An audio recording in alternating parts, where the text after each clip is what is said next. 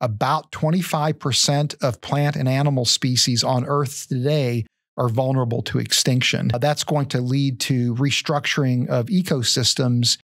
And so you end up getting a vicious cycle where extinction begets extinction. Especially when you knock out the keystone species that other species depend upon. Yes. Yeah. And, and sometimes the keystone species can be uh, relatively small in number. So it's not always easy to predict which, which species is a keystone species.